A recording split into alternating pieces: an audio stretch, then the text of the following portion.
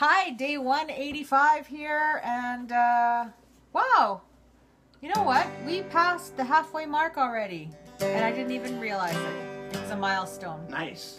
So uh, yeah, we're downhill now into the second half of uh, 2015 on these 365 days of fiddle tunes, and we're gonna do a good old standard for you. I'm not even gonna tell you the name because you probably read it in the title, but anyway, here we go. A little bit of down yonder. One, two, one.